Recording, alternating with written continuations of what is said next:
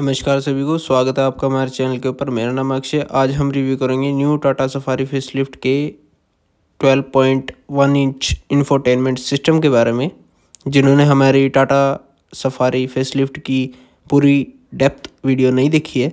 वो हमारे चैनल पर जाकर देख सकते हैं। इस वीडियो में हम ओनली इसके इन्फोटेनमेंट सिस्टम के बारे में बात करेंगे। उसमें क्या क्या फीचर्स मिलते हैं, आप वहाँ से क्या क्या ऑपरेट कर पाएँगे, वो आपको क्या क्या शो करता है अगर आप हमारे चैनल पर नए हैं, चैनल को सब्सक्राइब कर लीजिए आने वाली बेहतरीन वीडियोस के लिए। धन्यवाद। चलिए शुरू करते हैं आज की video.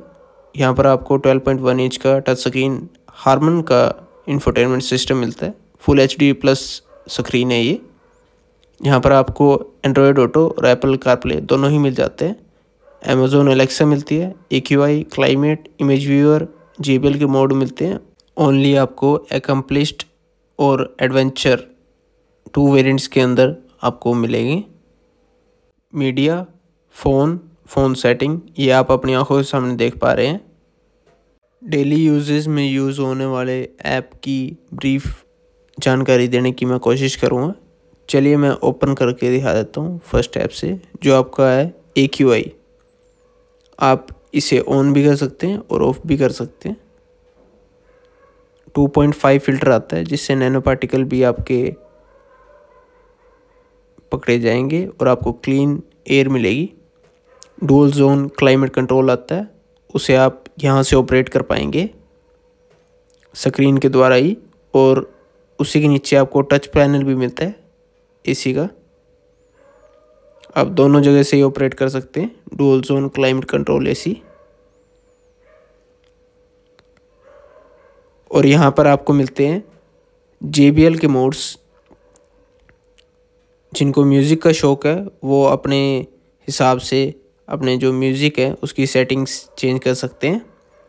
Five speaker four tweeter और वन सब वूफर का जेबीएल का सराउंड साउंड सिस्टम मिलता है आपको न्यू टाटा सफारी फेसलिफ्ट के अंदर। और जब आप मीडिया ओपन करेंगे तो आपको USB audio Bluetooth iPod Android Auto Apple CarPlay यहाँ से ऑपरेट कर पाएँगे। और अब जब आप इसको नीचे स्क्रॉल करेंगे, तब आपको यहाँ पर quick setting radio settings Shem location sound demo surround view camera Tata assist video player setting जब आप ओपन करेंगे, तब आपको audio connectivity driver assist H M I Doral और बूट लाइट यहाँ से आप अपनी एम्बियंट लाइट है, उसे कंट्रोल कर पाएँगे और कलर चेंज कर पाएँगे. और मूड के अकॉर्डिंग आप जब लाइट के कलर्स हैं, वो भी चेंज कर सकते हैं। फ्रंट में कौन सी लाइट रखनी है रेयर में कौन सी और रूफ में कौन सी, यहाँ से आप ऑपरेट कर सकते हैं। अब मैं आपको बताता हूँ सराउंड व्यू कैमरा अगर आप एक्सेस करना चाहें तो आप टच पैनल के थ्रू भी कर सकते हैं, यहाँ से। और आप इंफोटेनमेंट स्क्रीन के अंदर जाकर भी कर सकते हैं। यहाँ पर आपको two D three D rear view front view control कर पाएँगे। कुछ इस प्रकार से 360 डिग्री सराउंड व्यू कैमरा मिलता है आपको न्यू टाटा सफारी फेसलिफ्ट के अंदर। आशा करता हूँ आपको वीडियो पसंद आई होगी। अपने सुझाव कमेंट सेक्शन में अवश्य दें। धन्यवाद। जय हिंद।